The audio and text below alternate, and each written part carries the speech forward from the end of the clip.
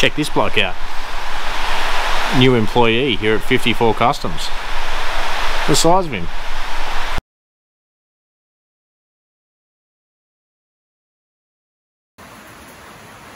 Welcome back to Backyard Builds. Sorry for the rain noise, but as you can see, it's raining pretty heavy here. So today is just a little tech tip on welding weld-ins for joints into suspension components. So we've got some stainless tube, some little stainless weld-ins. So what we're going to do is prep the end. Um, we're also going to plug weld it or rose weld it so these Heims joints can go in. So what I've done, I have just marked how far they go in. So I'll mark out some holes and we'll drill some holes in it.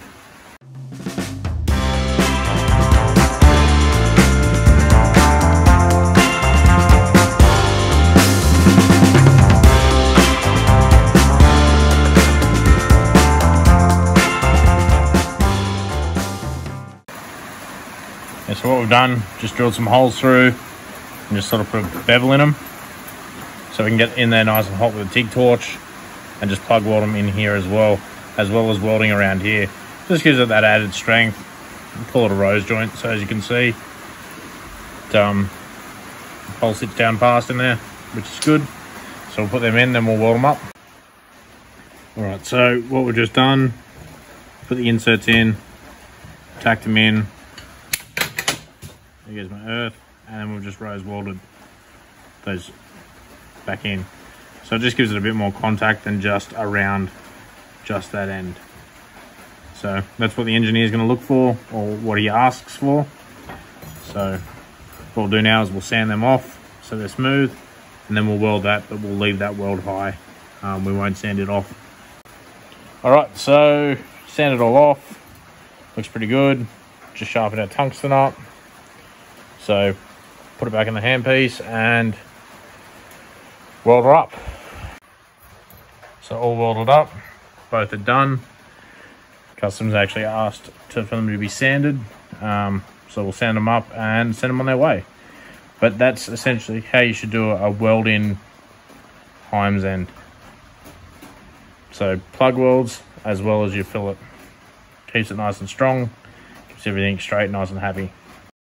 So that's how we weld a tube adapter in. So this is the standard style. I just wanted to go through a few other components of four links. So there's a few options when it comes to four links as to what rod end you can actually use. So to give you a few examples, this is a kit that I actually do. Um, so polyurethane bush with a cross tube. They're 9 16 They go into the, the tube here and then we can weld that onto at the end of our four link or what we can do is we can weld a threaded um, insert on. So that goes in there nice weld all the way around. That screws into there with a what we call a lock nut on it. And then that can be used to make an adjustable four link. Obviously it doesn't need to be adjustable both ends but we can make it adjustable both ends. So here on the four link that I've done last Christmas we've used a poly bush on one end and then we've used a Heims joint on the other but as you can see they're both adjustable.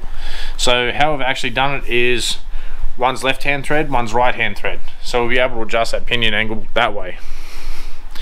So these bushes are pretty handy. We use them in a lot of applications. So here in particular these are my cab mounts that I've made up. I'll get that later. These are the cab mounts I've made up for this truck. I haven't actually used them yet. And I'm also using the same bush setting bush set in an engine mount. So they're quite versatile. Um, I always like to keep a couple round. So next up we just have like a Heims joint. So exactly the same as what we've just put in those links. So as you can see these ones in here are PFTE which is like a Teflon nylon raced Heims um, one thing to consider with these is you can get spaces for them. So these are misalignment spaces. So they go in there but they allow more articulation to the bolt essentially. So you do step down a bolt size with those but and these are the jam nuts that I spoke about before so they're just like a half nut. But on this application we've obviously used them in the front. Um, it gives us our up and down articulation and we've decided to run them horizontal. So I did read a thing from Pandemic Publishing um, on the reasons behind that uh, I just wanted to give it a go see how much better it rides see if it gives me a little bit better articulation. So talking about articulation I've run Heims on one end and Polybush on the other. So with the Polybush it's not actually going to give us any like articulation through the bush without crushing the bush. So that's why we've got Heims at one end and poly at the other. So it gives that articulation through this joint not through that joint there and the last option we have is what we call a uni ball. So it's essentially the same as the Heims without the threaded shaft off it.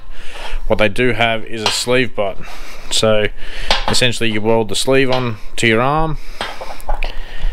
They're then like tolerance fit in there so you need to sometimes press them in. They're very tight so they don't slip around. And then there's a circlip retainer that goes in on top of that.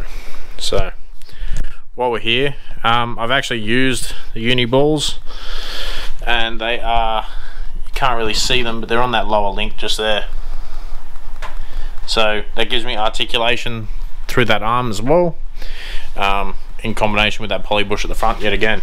So just a few more examples of where you can use them. So what's link, so three poly bushes and then Heims joint on that end just to allow for that articulation.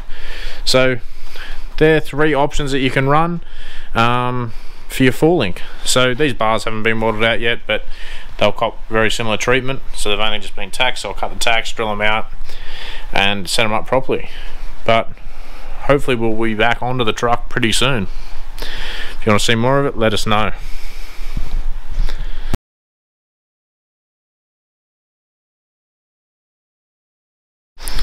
Suppose I better get a code word for this week, seeing as people have been getting upset we haven't been putting code words. Uh, this week's code word, I think we're going to go for link.